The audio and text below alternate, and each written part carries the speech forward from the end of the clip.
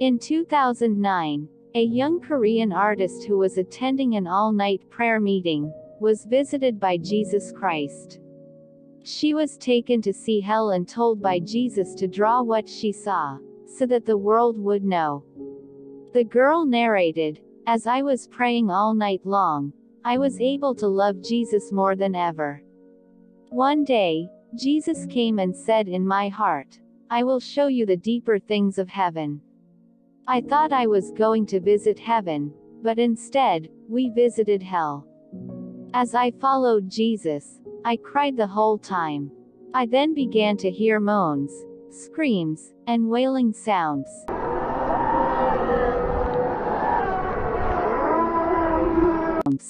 Jesus said, Focus me. You must focus only me. Most people have a misconception about hell. They are deluded and think that if they only believe in Jesus Christ, they will end up in heaven.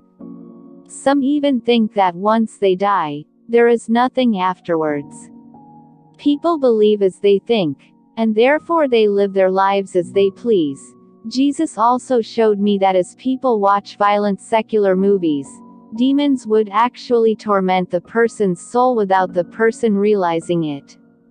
As a person watches the scenes from TV, their soul is tormented and wounded. Watching secular TV does not help Christians develop a loving relationship with our bridegroom Jesus. As Jesus witnessed the sins committed by man, he cried, Satan and his demons would tie the bodies of sinners so tight with iron chains to control them. Therefore sinners would go deeper and deeper in sin. I am pleading with you not to commit sin.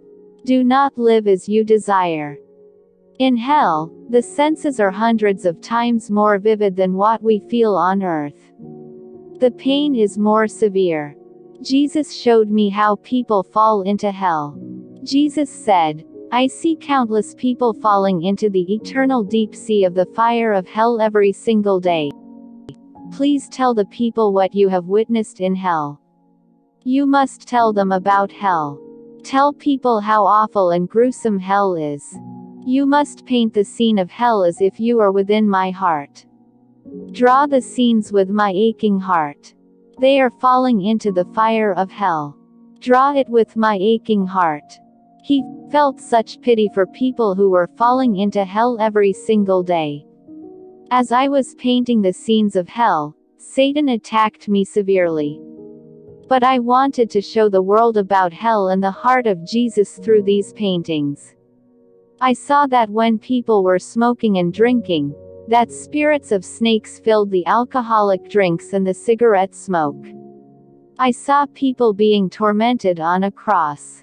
I saw people who did not want to eat the bread of life or God's word. There were people who would not discuss the things of their lives with Jesus, but made their own decisions, and followed their own will. There were people who drank and ate prohibited things. Jesus said, Please tell people who hurt each other's hearts by their words that they must not hurt or wound their brothers, sisters in Christ. They must not say things without care or love. This is how murderers, rapists and child kidnappers will be tormented. This woman tries desperately to escape. The punishment for liars. Those people who stole money will be penetrated by arrows and needles. In hell, I saw a woman and her son who had died. In hell they no longer loved each other. Because of the unbearable pain, they would do anything to escape the torment, even by stepping on each other.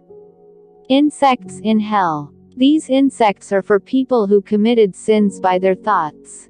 They were filled with their own thoughts and knowledge. Covered by countless maggots, their entire body is wounded by large insects, going in and out of the whole body, mouth, ears and head. They were also people who violated God's word and ignore God's commandments. They will be placed in an area similar to a frying pan, which was burning with hellfire. Those people who do not attempt to align their thoughts with God's will end up in hell. We must fix our minds and thoughts on God. This torment was for those Christians who did not share the gospel. They did not evangelize the good news to the lost.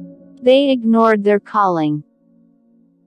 This torment was for the people who had ignored God's word and still continued to commit sin. They are the ones who performed evil in the eyes of the Lord. For those who worshipped idols, those that had evil thoughts and were stubborn in their ways. Grumblers and complainers also wound up in hell. Grumblers and complainers in their heart.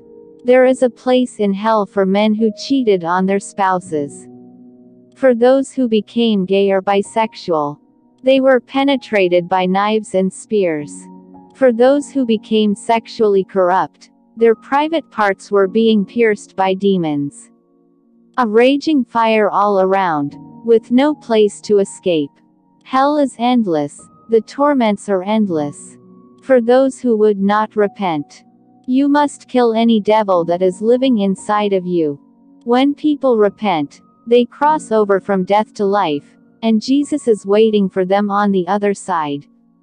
They drop their heavy load of sin, and start on the narrow path to life, and off the road to hell. When we repent and pray before God, angel armies come down and pierce the demons with their swords. Jesus said, Focus me. You must focus only me.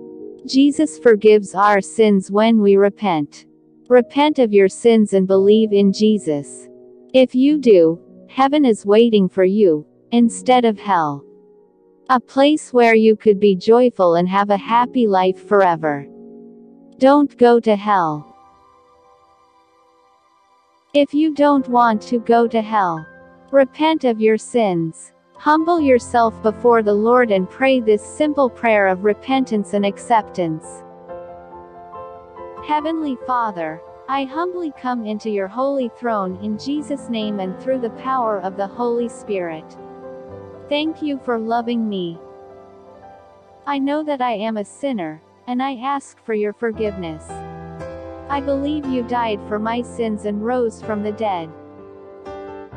I turn from my sins and invite you to come into my heart and life.